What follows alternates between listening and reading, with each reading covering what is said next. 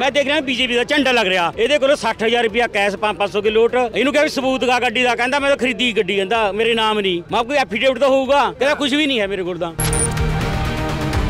ਮੋਦੀ ਸਰਕਾਰ ਦੇ ਪੈਂਫਲੇਟ ਵੀ ਪਏ ਨੇਗੇ ਤੇ ਵਿੱਚ ਤੰਬਾਕੂ ਜਰਦਾ ਬੀੜੀਆ ਨਸ਼ਾ ਵੀ ਪਿਆਗਾ ਮੈਨੂੰ ਕਿਹਾ ਬਾਈ ਅੱਗੇ ਰਸਤਾ ਬੰਦ ਹੈ ਅੱਗੇ ਨਹੀਂ ਜਾਣਾ। ਕਹਿੰਦਾ ਮੈਂ ਲੇਬਰ ਲੈਣ ਜਾ ਰਿਹਾ। ਮੈਂ ਅਮਰੀਕਾ ਤੱਕ ਤੋਂ ਪਤਾ ਵੀ ਰਸਤਾ ਬੰਦ ਹੈ ਲੇਬਰ ਕਿੱਥੋਂ ਲੈ ਕੇ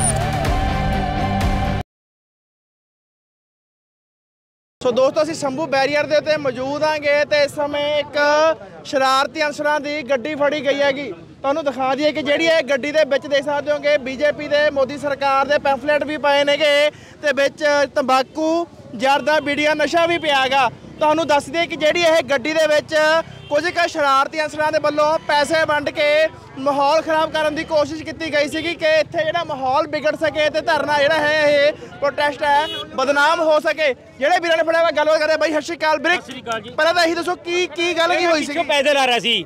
ਇਹ ਬੈਰੀਕੇਡ ਦੇ ਨਾ ਜਿਸ ਤੋਂ ਮੈਂ ਪੈਦਲ ਆਂਦਾ ਇਹ ਗੱਡੀ ਮੇਰੇ ਅੱਗੇ ਗੱਡੀ। ਮੈਂ ਦੇਖ ਰਿਹਾ ਬੀਜੇਪੀ ਦਾ ਝੰਡਾ ਲੱਗ ਰਿਹਾ। ਮੈਨੂੰ ਕਿਹਾ ਬਾਈ ਅੱਗੇ ਰਸਤਾ ਬੰਦ ਹੈ ਅੱਗੇ ਨਹੀਂ ਜਾਣਾ। ਕਹਿੰਦਾ ਮੈਂ ਲੇਬਰ ਲੈਣ ਜਾ ਰਿਹਾ। ਮੈਂ ਅਮਰੀਕਾ ਤੱਕ ਤੋਂ ਪਤਾ ਵੀ ਰਸਤਾ ਬੰਦ ਹੈ ਲੇਬਰ ਕਿੱਥੋਂ ਲੈ ਕੇ ਆਵੇਗਾ? ਬਿਲਕੁਲ ਬਿਲਕੁਲ। ਮੈਂ ਕਿਹਾ ਵੀ ਤੋ ਮੈਂ ਸਾਰਾ ਕੁਝ ਦੇਖਿਆ ਵੀ ਬੀਜੇਪੀ ਮੈਂ ਹੋਰ ਮੁੰਡੇ ਇਕੱਠੇ ਕਰੇ ਵੀ ਬੀਜੇਪੀ ਚ ਗੱਡੀ ਲੈ ਕੇ ਜਾ ਰਿਹਾ ਅੱਗੇ। ਫੇਰ ਅਸੀਂ ਇੱਥੇ ਰੋਕਿਆ। ਇਹਦੇ ਕੋਲ 60000 ਰੁਪਇਆ ਕੈਸ਼ 500 ਕਿਲੋ ਲੋਟ ਇਹਨੂੰ ਕਿਹਾ ਵੀ ਸਬੂਤ ਗਾ ਗੱਡੀ ਦਾ। ਕਹਿੰਦਾ ਮੈਂ ਤਾਂ ਖਰੀਦੀ ਗੱਡੀ ਕਹਿੰਦਾ ਮੇਰੇ ਨਾਮ ਨਹੀਂ। ਮੈਂ ਕੋਈ ਐਫੀਡੇਵਿਟ ਤਾਂ ਹੋਊਗਾ। ਕਹਿੰਦਾ ਕੁਝ ਵੀ ਨਹੀਂ ਹੈ ਮੇਰੇ ਕੋਲ ਤਾਂ। ਬਾਈ ਤੁਸੀਂ ਤੁਸੀਂ ਇਹ ਵੀ ਇਹ ਵੀ ਕਿਹਾ ਵੀ ਪੈਸੇ ਵੰਡੇ ਜਾ ਰਹੇ ਸੀਗੇ। ਫਿਰ ਇਹ ਪੈਸੇ ਵੀ ਵੰਡ ਰਹੇ ਸੀਗੇ ਲੋਕਾਂ ਨੂੰ? ਦੇਖੋ ਉਸ ਟਾਈਮ ਤੋਂ ਨਹੀਂ ਬਣ ਰਹੇ ਦੇਖੋ। ਜੋ ਗੱਡੀ ਮੈਂ ਫੜੇ ਇਹਦੀ 60000 ਰੁਪਇਆ ਕਹਿਆ ਅਸੀਂ ਉਸ ਨੂੰ ਸੌਂਪਦਾ ਵੀ ਆਪਣੇ ਪੈਸੇ ਸੌਂਪ ਪੈਸੇ ਸਾਹਮਣੇ ਹਾਂ। ਇਹ ਤੁਸੀਂ ਇਹ ਵੀ- ਇਹ ਵੀ ਦੇਖਿਆ ਜਾ ਰਿਹਾ ਇਹਦੇ ਵਿੱਚ ਨਸ਼ਾ ਵੀ ਪਿਆਗਾ। ਬੀੜੀਆਂ ਤੰਬਾਕੂ ਸਰਿਆਮ ਉਥੇ ਮੂਰੇ ਪਿਆਗਾ। ਕਿਤੇ ਇਹ ਇਹ ਧਰਨੇ ਨੂੰ ਬਦਨਾਮ ਕਰਨ ਦਾ ਚੱਲਦਾ ਨਹੀਂ ਕਿਤੇ? ਹੋ ਸਕਦਾ ਦੇਖੋ ਸ਼ਰਾਰਤੀ ਅਨਸਰ ਹਾਂ। ਆਪਾਂ ਨੂੰ ਹਨ- ਧਰਨੇ ਨੂੰ ਸ਼ਰਾਬ ਖਰਾ- ਖਰਾਬ ਕਰਨੇ ਵੇ ਭੇਜੇ ਨਾ। ਇਹ ਹੁਣ ਕਿੱਥੇ ਗਏ ਨੇ ਜਿਹੜੇ ਇਹ ਗੱਡੀ ਦੇ ਹਵਾਲੇ ਇਕੱਠੇ ਹੋਏ ਆ ਪਿੱਛੇ ਦੀ ਆਪਣੇ ਯੂਨੀਅਨ ਦੇ ਨੁਮਾਇੰਦੇ ਆ ਕੇ ਲੈ ਗਏ ਇਹਨਾਂ ਨੂੰ। ਉਹਨੂੰ ਪੁੱਛ ਪੁੱਛਤਾਛ ਕਰ ਰਹੇ ਆ ਉਸ ਤੋਂ ਬਾਅਦ ਦੱਸਾਂਗੇ ਜੋ ਵੀ ਹੋਰ ਜਿਵੇਂ ਬਾਈ ਮੈਂ ਦੇਖ ਰਿਹਾ ਹਾਂ ਇਸ ਸਮੇਂ ਪੈਂਫਲੇਟ ਵੀ ਪਏ ਨੇਗੇ ਇਹਦੇ ਵਿੱਚ ਬੀਜੇਪੀ ਦੇ। ਦੇਖ ਰਿਹਾ ਹੈਗਾ ਮੋਦੀ ਦੀ ਫੋਟੋ ਵੀ ਲੱਗੀ ਹੋਈ ਹੈਗੀ ਅਮਿਤ ਸ਼ਾਹ ਦੀ ਫੋਟੋ ਵੀ ਲੱਗੀ ਹੋਈ ਹੈਗੀ। ਫਿਰ ਤੁਸੀਂ ਪੁੱਛਿਆ ਨਹੀਂ ਹੈਗਾ ਵੀ ਯਾਰ ਇਹ ਜਿਹੜਾ ਹੈਗਾ ਧਰਨਾ ਹੈਗਾ ਇਹ ਤਾਂ ਸੈਂਟਰ ਸਰਕਾਰ ਦੇ ਵਿਰੁੱਧ ਹੈਗਾ। ਮੇਰੇ ਕਹਿਣ ਤੋਂ ਰੁਕਿਆ ਨਹੀਂ ਇਹ। ਹਾਂ ਮੈਂ ਨਹੀਂ ਰੋਕਦਾ ਰਿਹਾ। ਇਹ ਮੇਰੇ ਕਹਿਣ ਤੋਂ ਰੁਕਿਆ ਨਹੀਂ।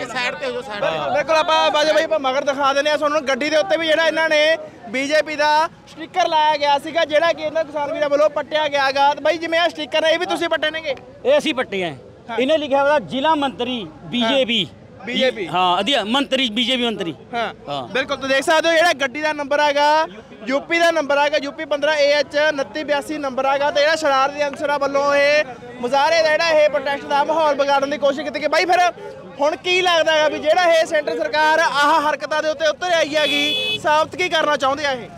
ਇਹ ਆਪਣੇ ਸ਼ਾਂਤਮਈ ਅੰਦੋਲਨ ਨੂੰ ਭੰਗ ਕਰਨਾ ਚਾਹੁੰਦੇ ਆ। ਹਾਂ। ਬਿਲਕੁਲ। ਆਪਾਂ ਸ਼ਾਂਤਮਈ ਬੈਠੇ ਆ ਇਹ ਪਤਾ ਕਿਆ?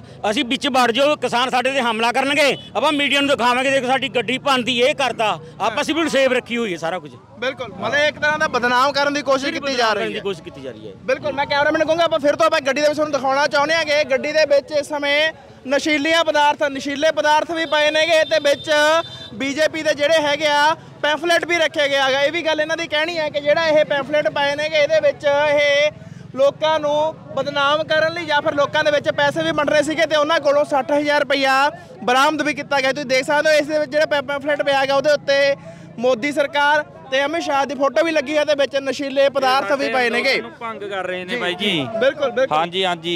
ਇਹ ਦੇ ਅੰਦੋਲਨ ਨੂੰ ਭੰਗ ਕਰਨ ਦੀ ਜਾਂ ਫਿਰ ਅੰਦੋਲਨ ਨੂੰ ਬਦਨਾਮ ਕਰਨ ਦੀ ਇਹ ਚਾਲ ਕੀ- ਕੀਤੀ ਜਾ ਰਹੀ ਹੈਗੀ ਬੀਜੇਪੀ ਸਰਕਾਰ ਦੇ ਵੱਲੋਂ ਤੇ ਜਿਹੜੀ ਗੱਡੀ ਕੀ ਇਸ ਸਮੇਂ ਸ਼ੰਭੂ ਬੈਰੀਅਰ ਦੇ ਉੱਤੇ ਇਨ ਕਿਸਾਨਾਂ ਵੱਲੋਂ ਰੋਕ ਲੱਤੀ ਗਈ ਹੈ।